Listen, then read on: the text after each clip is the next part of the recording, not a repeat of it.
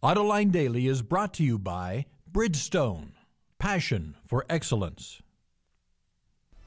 Here are today's top headlines GM fails to bring bondholders on board. It's also going to take back five Delphi plants, and Opel learns today who its new owner will be. Up next, we'll be back with the news behind the headlines.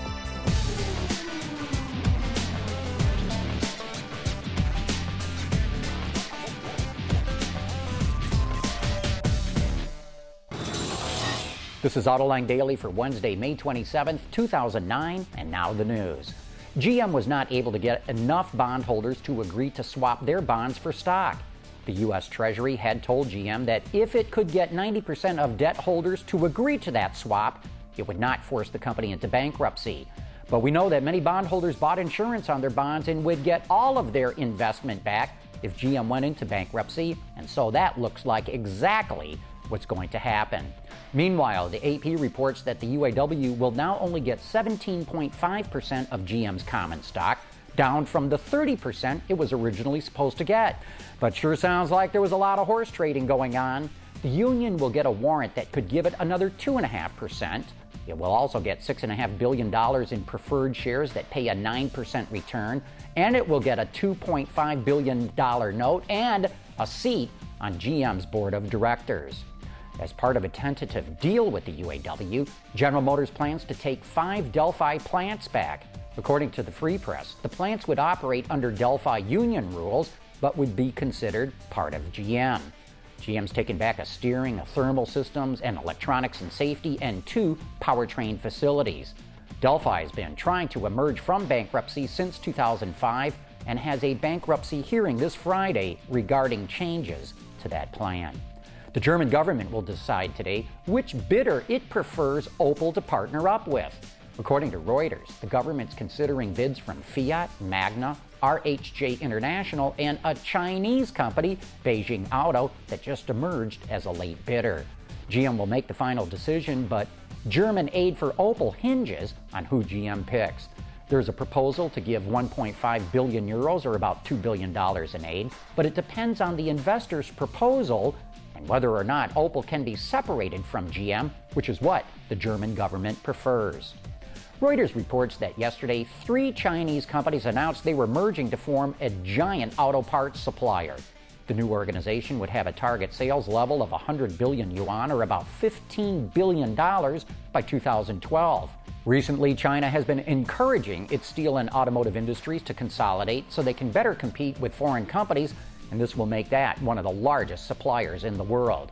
Yesterday, Taiwan announced that it launched a new electric car research consortium. Gasgoo reports that the organization aims to leverage the country's IT industry to capture a 3% share of the global electric vehicle market. Hey, who would have guessed it would ever become so popular when it was introduced three decades ago? Soon, the Little Tikes Cozy Coupe will take its place in automotive history. TheNewsLeader.com reports on June 6th, the red and yellow toy car is being inducted into the Crawford Auto and Aviation Museum in Cleveland. Over the years, the Cozy Coupe gave countless kids their first experience behind the wheel, while its interior gave new meaning to the term plasticky. Well, here's to another 30 years. And coming up next, it's time for You Said It.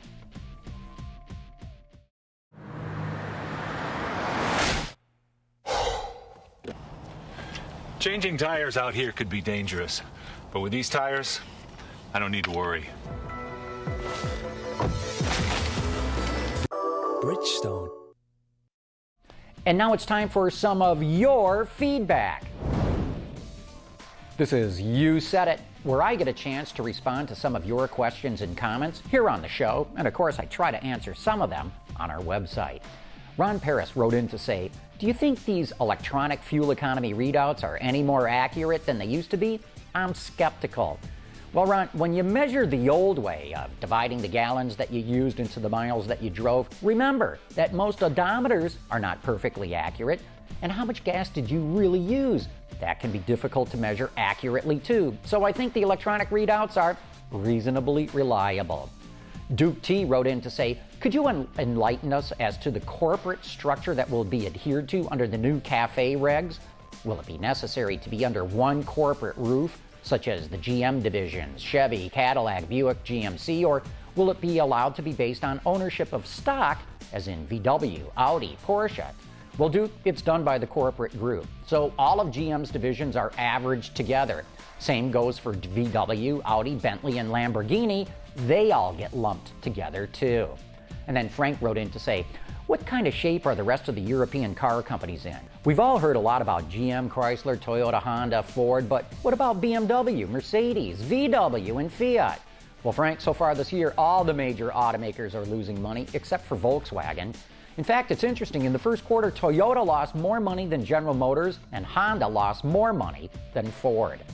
Well, that's it for today's top news in the global automotive industry, but don't forget to tune in for Autoline After Hours tomorrow night at 7 p.m. Eastern.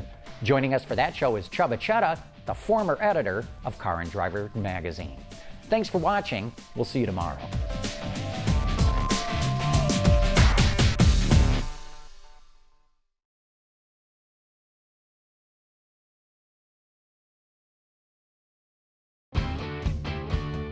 Visit our website for even more great content all week long. Autoline Extra, Don's Journal, podcasts, and even more. So click over and get the inside view at AutolineDetroit.tv.